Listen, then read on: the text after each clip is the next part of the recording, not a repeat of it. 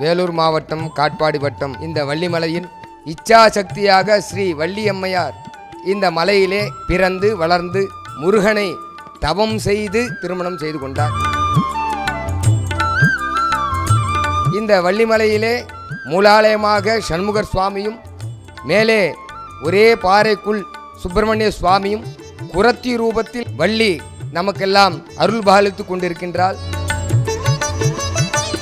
ஆலயங்கள் அற்புதங்கள். நாளை காலை ஆறு மணிக்கு. மறு ஒளிபரப்பு மாலை ஆறு மணிக்கு. நமது புதியுகத்தில்.